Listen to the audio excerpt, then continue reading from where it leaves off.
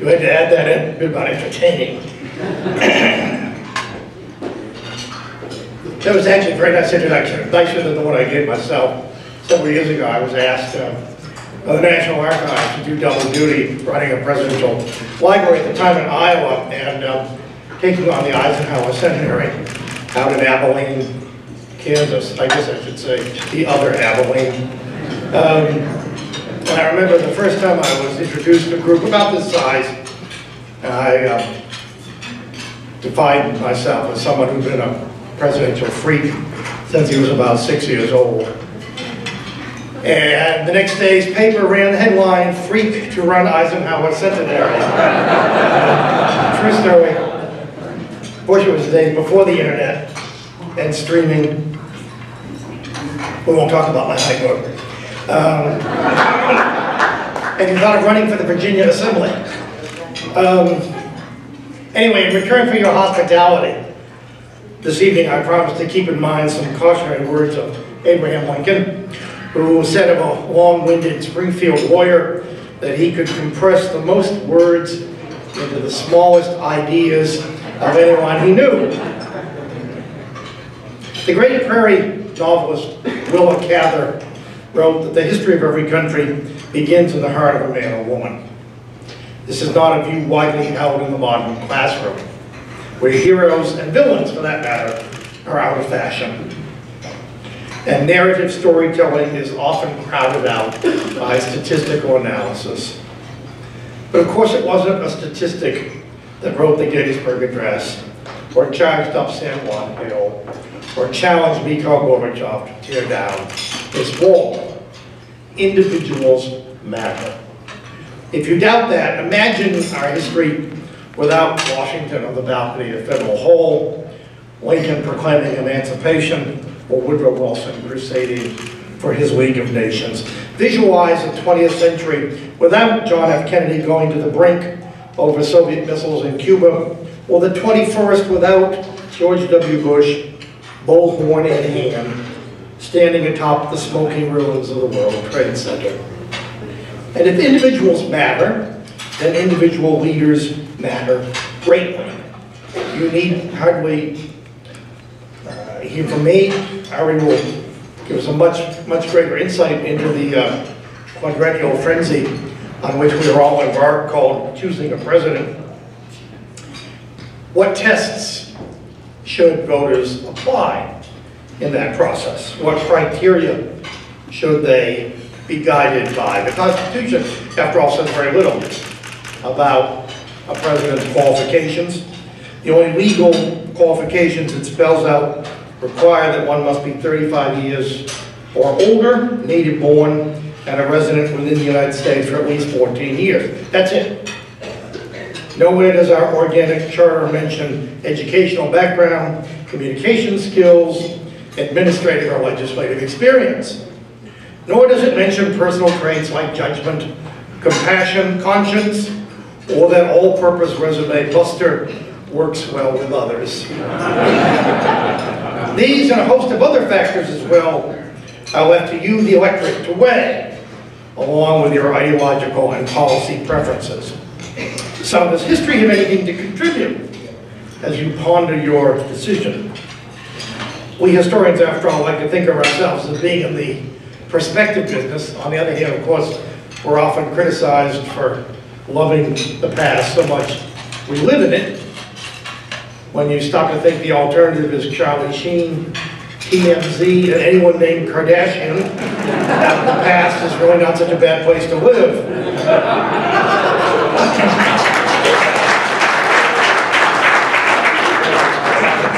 For a few minutes, with your permission, I'd like to step back a bit and offer a decidedly non-partisan alternative to the 60-second spots, focus group sound bites, and horse race journalism that passes for the making of the president in 2012. If it's any consolation, negative campaigning's been around since the earliest days of the Republic. So has media bias.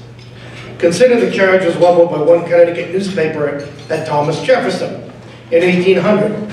Should the then Vice President of the United States defeat the incumbent John Adams, it warned, quote, murder, robbery, rape, adultery, and incest will all be openly taught and practiced. The air will be rent with the cries of the distressed, the soil will be soaked with blood, and the nation black with crimes. In recent years, there's been a heated debate among presidents, politicians, and pundits alike. Does character count? You bet it does. Never more so than when a president is committing young Americans to battle. But how then do we define character? Character, said Lincoln, is like a tree, and reputation like its shadow. The shadow is what we think of it, the tree is the real thing. But consider the tree of conviction. It goes without saying we want our presidents to be men and women of principle. What happens, however, when principles come into conflict with one another? Thomas Jefferson worshiped before the altar of strict constructionism, if no other. Yet history reveres him for putting aside his deepest convictions about limited government when Louisiana came on the market. More precisely, Jefferson's constitutional principles took a backseat to his continental vision of the United States. And most people, presumably especially those west of the Mississippi, think it's a good thing they did. We are routinely told that America's presidents are the most powerful men in the world. In truth, they're often at the mercy of unforeseen events and movements that test their deepest convictions. Richard Nixon was a principled anti-communist, at least until he looked into the 21st century and saw that it was in America's interest to bring China out of its self-imposed isolation. Lyndon Johnson, the first Southern president in a hundred years, staked his presidency on principles of racial justice and economic opportunity. He lost his presidency on a principle he may or may not have believed that America should pursue military victory in Southeast Asia, whatever the cost. One man's idealist is another's ideologue. No president was more principled than Herbert Hoover. Before his election in 1928, Hoover's name was synonymous with American generosity. He was the great humanitarian, the self-made millionaire engineer with offices on four continents, living in London, who abandoned his career and his fortune to organize the first great international relief effort in World War I. Uh, he would spend 50 years of his life feeding over a billion people in 56 different countries. Why is it that that's not what we remember Hoover for? Rather, the Great Depression. If you go to Russia today, or Belgium, or Czechoslovakia, you'll meet Hoover the hero. Hoover, the symbol of American compassion, decency, and generosity. In his own land, he's a symbol of the Great Depression. There's a reason for that. He stuck to his principles. The same voluntarism that he believed in, that fed Belgium in World War I, that observed meatless Mondays and wheatless Wednesdays, to save food to send to the Allies. The next time you chew sugarless gum, think of Herbert Hoover. It was uh, part of the Food Administration in World War I. The same reliance upon voluntarism from what he said were the most generous people on the face of the earth became a ball and chain once he became president and confronted an international crisis greater than anyone could imagine himself included. Overnight, the rules changed. No longer was it enough for a president to be a skilled administrator or legislative strategist. In times of distress, he must serve as empathizer in chief, a role for which Hoover of all men was temperamentally unsuited. He was a Quaker, orphaned at eight, who sat in a cold meeting house waiting for the inner light to come to him he said as an old man that he was 10 years old before he realized he could do something for the sheer pleasure of it without offending the Lord. Not surprisingly, he was not a particularly empathetic figure. His Quaker conscience was muffled by his Quaker reticence. And so the hero of World War I, the man who saved more lives than Hitler, Stalin, and Mao together, wiped out. That man rode to the final rally of his 1932 campaign through crowds of New Yorkers chanting, we want bread. A successful president combines principle with pragmatism. Harry Truman did not lack for principles. Indeed, he drew more than one line in the sand during the explosive years after World War II, when NATO, the Truman Doctrine, and the Marshall Plan were improvised, all with the help of the so-called do-nothing 80th Congress. In Korea, Mr. Truman redefined the meaning of war and victory themselves. And in firing General Douglas MacArthur, he upheld the principle of civilian rule over the military at no small cost to his short-term popularity. A successful president is as comfortable as was Mr. Truman in his own skin. He, he used to say, it would be interesting if uh, Moses had stopped in the middle of the desert to take a poll. Calvin Coolidge doesn't seem at first glance like Mr. Truman. Actually, they have a lot in common, including their very uh, healthy attitude toward the temporary stewardship of any president. Coolidge said this, it is a great advantage to a president and a major source of safety to the country for him to know that he is not a great man. I um, had the great good fortune over the years to, uh, to get to know and eventually become very close to both President Mrs. Ford. Gerald Ford, of course, uniquely among our recent presidents, never aspired to the White House, never uh, imagined himself there, and brought a lot of that Coolidge um, attitude with him. Um, and if he was ever tempted to forget where he came from, um, he had something that no constitution provides for, but which undoubtedly is more important than any constitutional provision. He had a wife, like Betty Ford.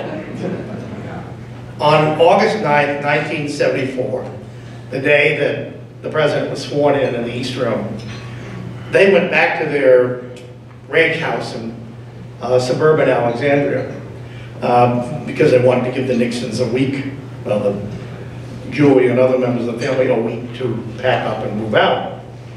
And that evening, Mrs. Uh, Ford was in the small kitchen slaving over a pan of lasagna. She said, Jerry, there's something wrong with this picture. You're president of the United States, and I'm still cooking.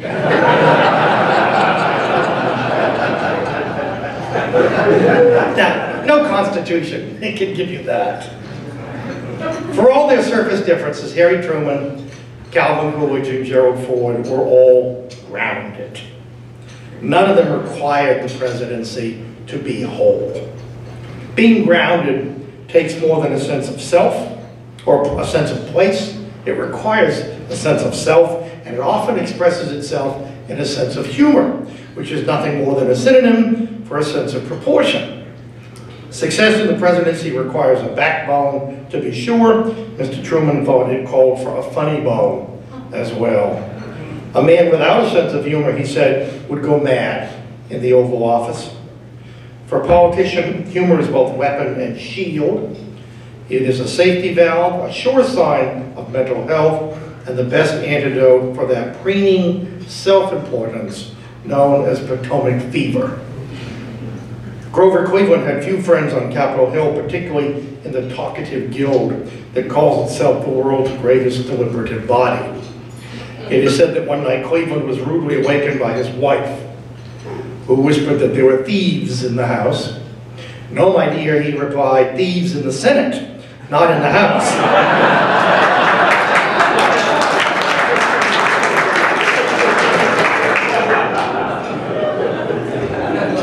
True story.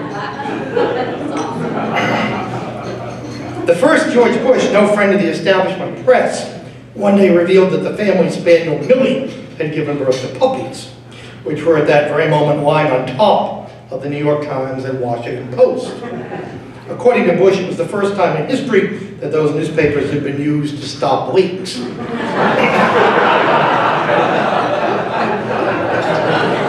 Humor can disarm as well as deflate. The oldest of our presidents, Ronald Reagan, delivered more age jokes than anyone since Jack Benny. To those critical of his administrative style, Reagan observed that the right hand of his administration didn't know what its far right hand was up to. he loved to tell Gorbachev jokes. And I'll never forget. But the amazing thing is he told them to Gorbachev, which is remarkable when you stop to think about it. I'll never forget one I heard on a number of occasions.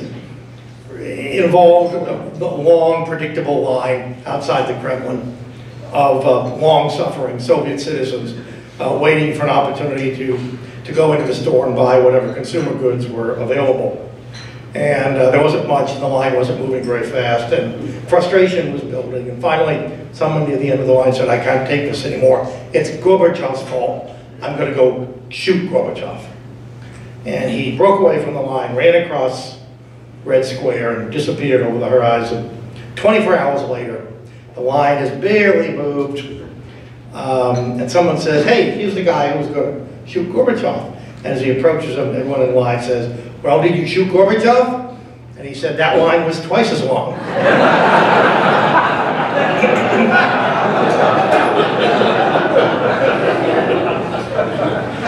it's a terrible thing, said Franklin Roosevelt, to look over your shoulder when you're trying to lead and find no one there.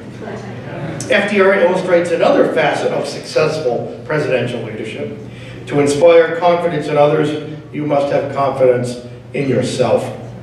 No one embodied this more than Roosevelt, the polio victim who refused to be victimized. As a result, in the economically bleak 1930s, it was said of FDR that it took a man on crutches to teach a crippled nation how to walk. He was hardly alone in facing and overcoming adversity. His cousin Theodore lost both his wife and his mother on the same terrible day, Valentine's Day, 1887. Lincoln struggled with poverty, death, and rejection at the polls. Even Ronald Reagan, famed for his sunny disposition, grew up the son of an alcoholic in a series of houses and apartments that were rarely lived in long enough to be called home. Like Roosevelt before him, of course, President Reagan brilliantly used the mass media of his day to raise the nation's mood through the force of his personality and unquenchable optimism. It must be said, however, that he had a good deal more help in this regard than FDR.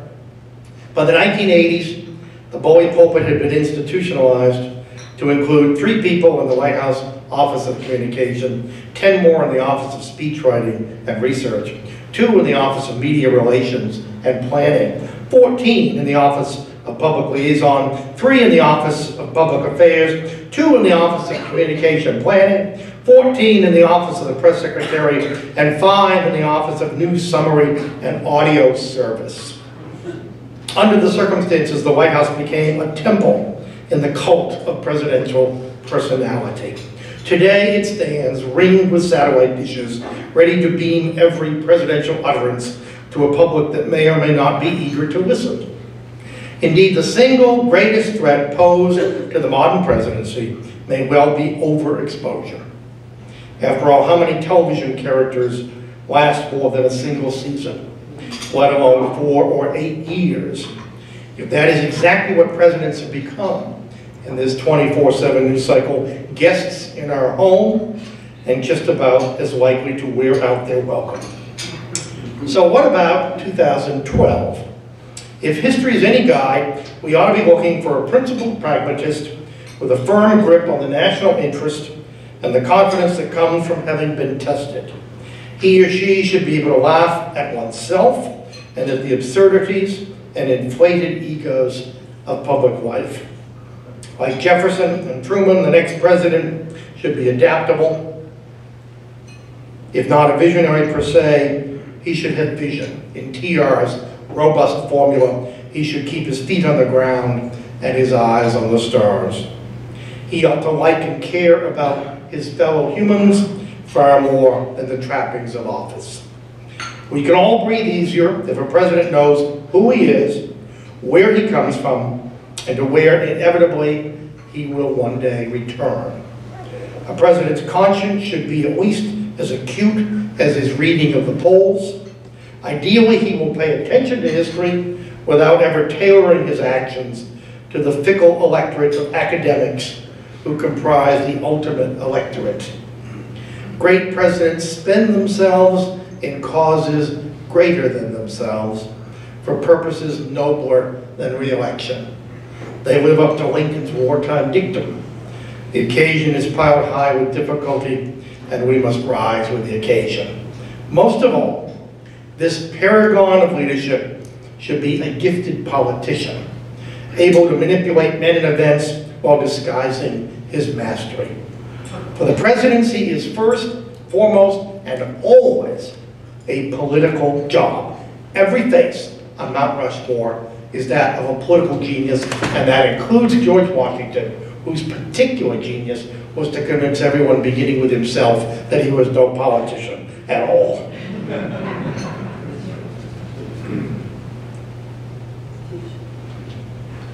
Abraham Lincoln was a man, as a young man, defined by conventional political ambition. He wanted status. He wanted to escape his humble origins. He wanted to be accorded a success. The greatness of Lincoln, it seems to me, lies in his capacity over time to outgrow purely personal ambition, even more to outgrow the conventions of the racist society that produced him. Over time, his ambition was purified through his growing involvement with the anti-slavery movement. Logic told him it was hypocritical for a nation that professed its love of liberty to keep millions of human beings in chains. Another kind of logic, the compelling logic of the battlefield, would in time bring him to the, around to the view that a war over states' rights must ultimately be fought and justified over human rights. In the process, and if he remains the president against whom all others are measured, which I think he is, it's because his presidency demonstrated as no other the essential truth of leadership in a democracy. That there can be no authority without moral authority. Washington possessed it as if by divine right. Jefferson earned it through his pen, Jackson with his sword, TR because he was born to pound a pulpit. Victory at the polls can reinforce it, but it can hardly create it. When at some future date, the high court of history sits in judgment on each of us, said John F. Kennedy, our success or failure in whatever office we may hold will be measured by the answers to four questions. Were we truly men of courage? Were we truly men of judgment? Were we truly men of integrity? Were we truly men of dedication? 50 years on, we can modify Kennedy's formula to read men and women, for America's first female president is an inevitable part of our unwritten history. In any event, we might all remember those days on election day, so ideally might whomever we elect president. Thank you very much.